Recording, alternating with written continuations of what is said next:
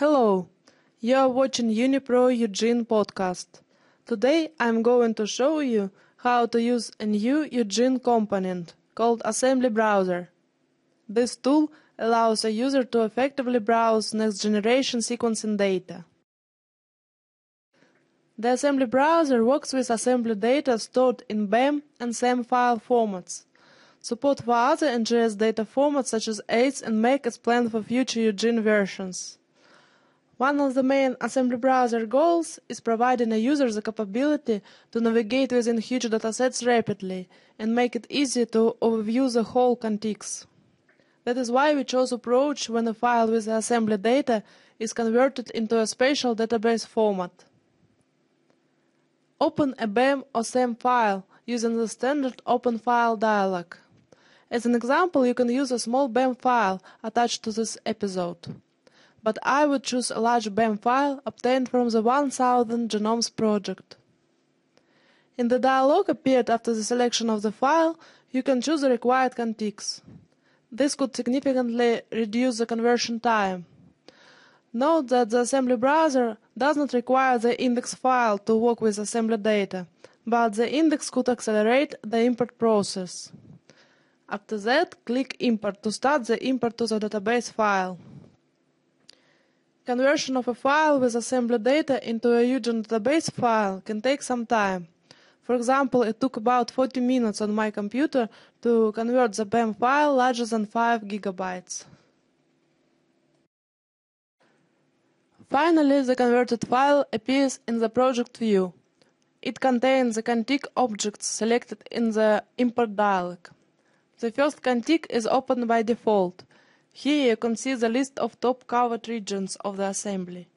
This may be helpful when short reads are concentrated only in some certain parts of the contig. So, click on a link of a well-covered region to open it. Now, let's add the reference sequence. To do it, just drag it from the project view to the assembly browser. Above the reference area, there is the assembly overview area. The longer the line in the area and the deeper the color, the more short reads are located in this region. There are a lot of ways to navigate in assembly data. To move, you can, for example, drag the reads area using your mouse or use the keyboard arrows. Various hotkeys are also available to help you to browse and assemble data. The full list of hotkeys is available in the documentation. A new tip is also shown each time you resize the assembly to the list of well-covered regions. By the way, another handy way to resize the reads area is rolling the mouse wheel. To go to a certain location, input the coordinate in the field on the toolbar and click Go. To rapidly jump to needed locations when there is no information about the coordinates, use the assembly overview. The reads area follows your clicks in the assembly overview area. There is one more option that should be mentioned.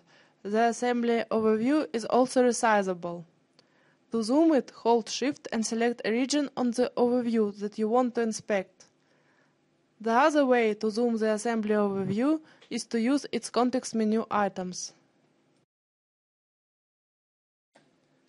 The coordinates at the right corner of the assembly overview correspond to the current coordinates of the reads area.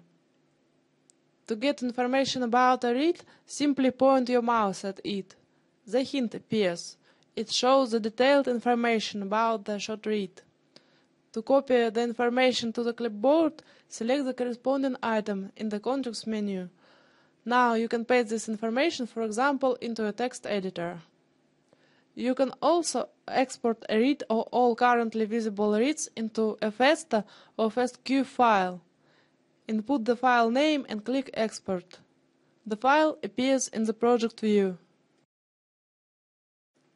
And at the end of this episode, I would shed some light on the directions of the assembly browser future development. First of all, we are going to extend visualization options.